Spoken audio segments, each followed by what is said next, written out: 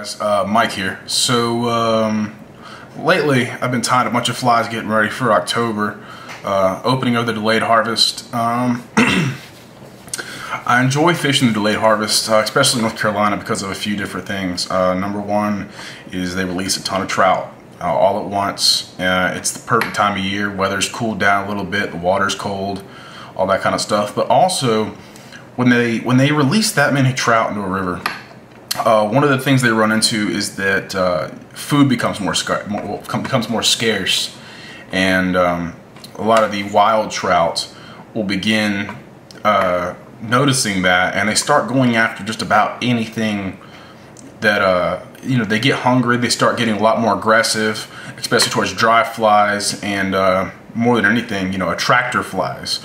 You know, your copper johns, uh, like like I tied the other day uh, your Copper Johns, um, your Royal Humpies, uh, the Green Bean, which is another video that I'm going to be posting soon, which is a great little wet fly.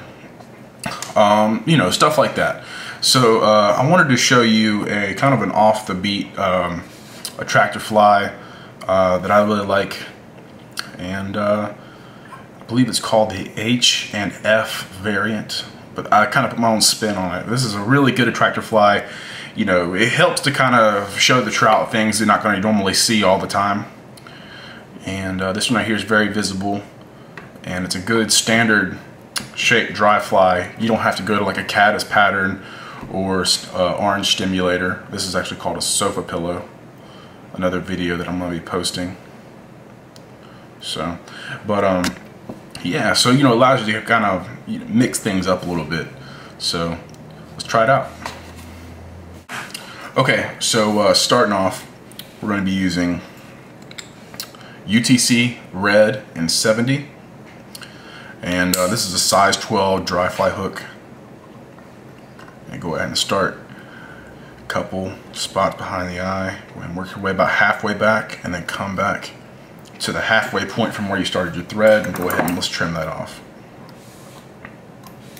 Okay, for the wing I'm going to be using calf body hair. Uh, you can also use calf tail. Uh, it's entirely up to you. Let me see. So go ahead and cut cut yourself off a, a, a very generous portion.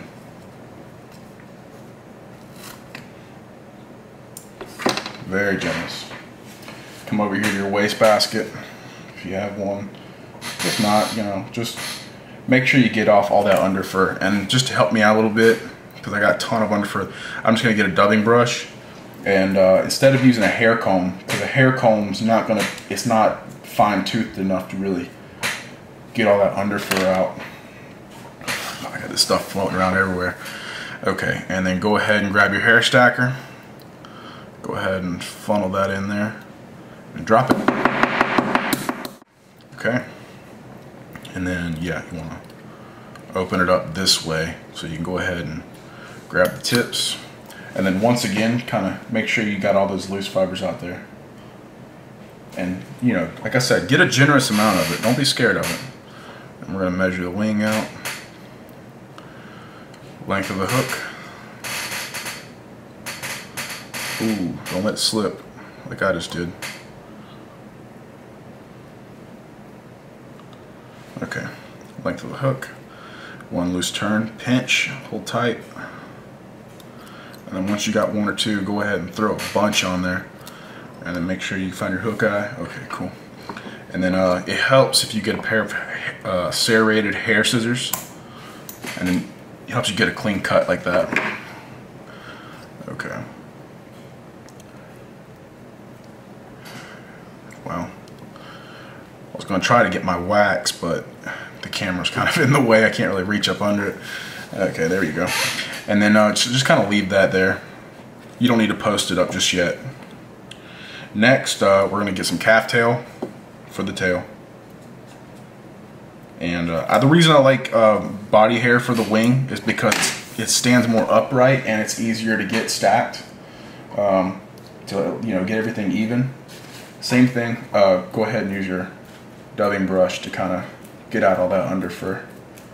You know this stuff right here is just too fine for a regular comb. But the reason I like calf tail for the wing is because it uh, I mean calf tail for the body or for the uh, for the tail is because it's much more curly. Calf tail is much more curly and it's going to give that the tail of this fly a lot more body than uh, without having to use as much material but it doesn't quite stack up very well. It's really kind of hard. See that's about as even as I can get it with my hair stacker so let's go ahead and and you can see I got my, my thread kind of flattened out. Helps a lot. Okay. So about one and a half times the, the gap of the, the gape of the hook.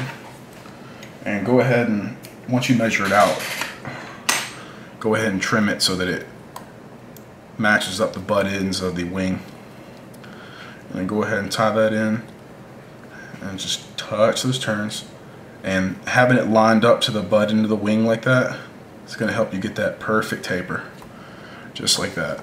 Now you can come up here, and looks like a little bit like a dumbbell almost. Okay. Come in here, pull your wing back, and then make those cuts, make those turns right up under that wing. Give it that little, that little ball almost, kind of stand it up straight, and then come in here and separate it.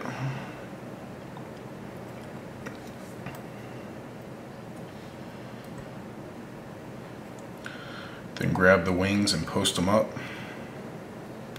You don't have to post them, so I'll tie it both ways, depending on what kind of mood I'm in. But um, if you don't post it, so like you see this right wing right here is a posted wing, and that's a non-posted wing. So you can cause the wing to spread out more by non by not posting it. Sometimes that's a good thing. Like if you're gonna fish this fly in really fast moving water, having your wings not, uh, really wide and non not posted will actually help stand the fly upright when you when it lands on the water.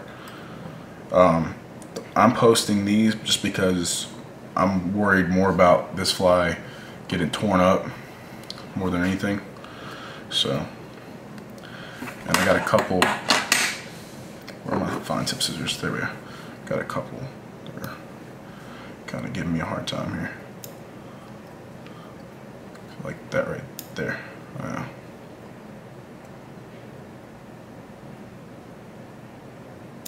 There we go. Cool. Now next, get some uh, rusty brown or brown or red turkey biots. Okay. And go ahead and go up to the top part of the biot and get your longest one, long and skinny, or long and wide, is whatever you, whatever you can get. As long as it's long, just gotta be long. Um, and tear it off. Now you see how this thing curves? at the very tip, tie with the curve facing the fly. Okay. And then go ahead and wrap up. And if you uh, if you wrap biot or you wrap hackle like I do, go ahead and throw in a whip finish or a half hitch. I just use the whip finish because it's easier to get it over the wing for me. And I don't know, I, I have rough fingertips, so it's really hard for me to to uh, do a half hitch on my fingers. I just don't like doing it. Okay, and then come in here. I'm gonna use my hackle pliers. Don't try to do this. Don't don't try to wrap if you have hackle pliers like this. It'll actually end up cutting the biot. Make sure you only use it if you have hackle pliers that uh that are um, uh, have like a little rubber grip to them. So wrap your biot and be generous with your spacing. Don't try to touch your turns too much. And if you don't like how it's wrapping, back it up. Slid back on me. Because you want the you want the red of that thread to show through a little bit. That's going to give it a little bit more of a segmented look. And it looks ugly. I don't like that. There we go. That's looking a little better.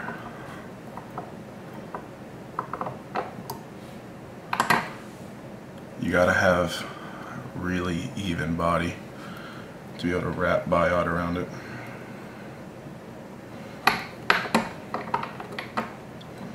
Just just be patient with it. It'll get there. Sometimes I've actually had to wrap them with uh, glue and then go back and fix it. Or just kind of hold it there until it adheres to it.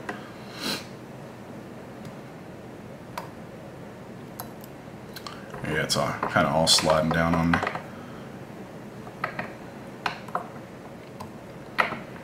Come on. That'll work. And don't worry if it looks bad over that hump, just give it a second. You're gonna be wrapping that part right there with uh, Peacock in a second.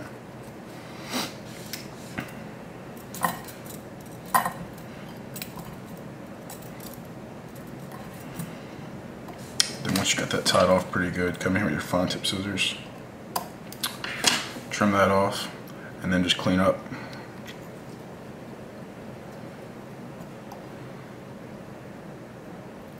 Perfect. Okay. Now, uh, grab your peacock sword and get some of these big.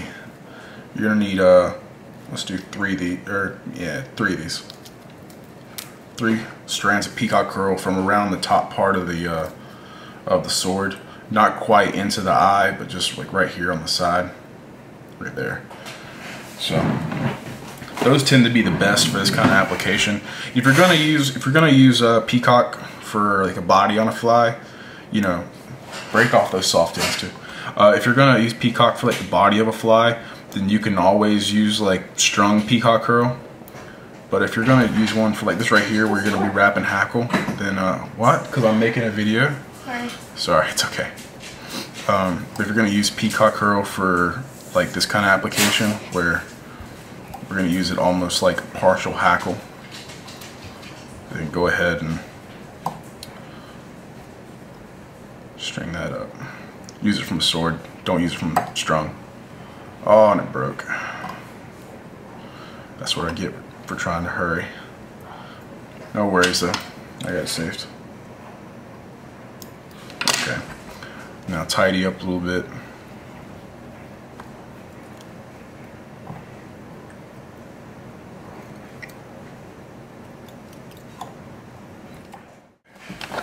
So next then, grab your uh, whiting. Uh, any kind of dark furnace colored, dark brown will work. Um, saddle hackle or cape. And that should work. Once you know your capes pretty well and you can kind of judge, I mean every cape or saddle is going to be different. Sometimes you may have thick feathers that'll be a size 12 sometimes you'll have very thin pieces of hackle and it may be a size uh, you know uh, 10 so but yeah go ahead and strip the ends off this thing and tie it in right there real quick okay and a lot of times I don't know if you can see or not but I have a little piece of the stem that's sticking through through the uh, middle of the wings and I'm gonna go ahead and tie that in right here at the eye if I can grab it loose wrap. Oh, come on. Okay, it's just gonna stick out there. The hackle will grab it. Okay. And then next, just going to bring my hackle through. I'm make four without catching the wing. Make four turns in the in the back. Make four or five turns up front.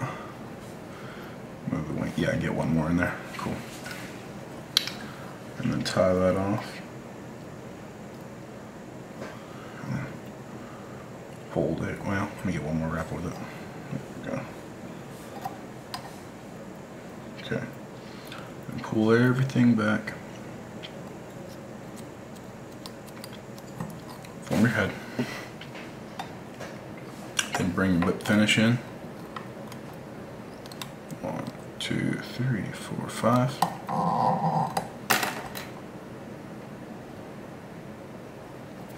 Perfect.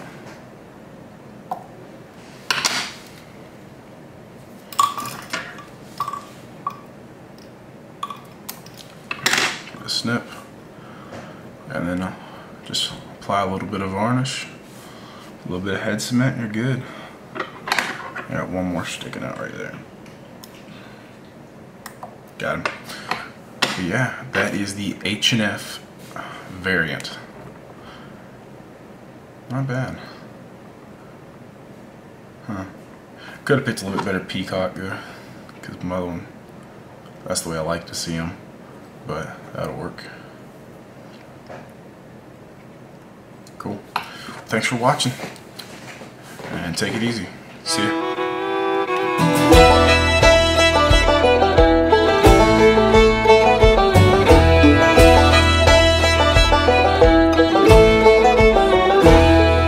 I buried my love with a silver spade laid her down in a shallow grave.